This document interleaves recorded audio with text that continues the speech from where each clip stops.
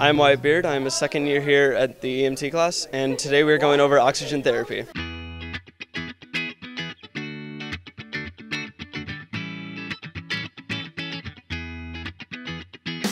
I'm here with Kyla Lord.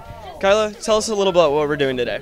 Well, today we're doing some oxygen therapy. We're working with masks, using oxygen regulators, running through the steps of how we put the regulator on, how we bleed the oxygen tank, how to put the masks on the patients.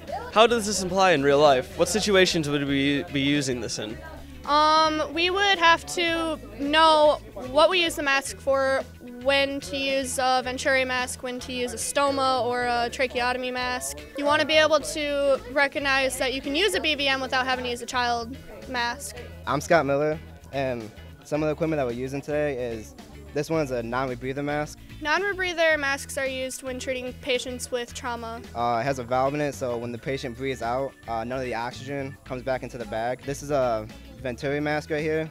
Venturi masks are used to treat patients with COPD or emphysema. Um, you would use a BVM to regulate the respiratory rate or the volume that they're taking in. The final mask that we have right here is a tracheostomy mask. It's when a patient has a permanent stoma, which is a hole in the neck. And now I'm over here with Lorenzo Ramirez, and he's going to tell us a little bit about the tanks and the attachments. This is the regulator right here, and uh, you put it on there, and then this right here tells you how much pressure per square inch you have in your tank. And this is the key right here that turns on the oxygen tank. And right here, this tells you how many liters per minute uh, you're going to send oxygen to the patient.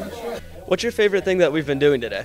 Um, my favorite thing is breathing for each other. It gives us a good sense of what we would be doing in the field and how we would go about it and how to match breathing patterns of your patient to slow down their rate. Now I'm here with our instructor, Mr. Ayers. How does it make you feel watching us learn this stuff? The kids are they're learning critical thinking skills today, and uh, this is a very difficult area for the students, and uh, they appear to be doing a, a, good job at this time. Once the students successfully complete this course, uh, they become eligible for the National Registry for Emergency Medical Technician, which is a comprehensive exam that they will take. Once they successfully complete that, they are eligible for licensure in the state of Michigan, and uh, these students are actually finding jobs when, uh, when they obtain their, their licensure.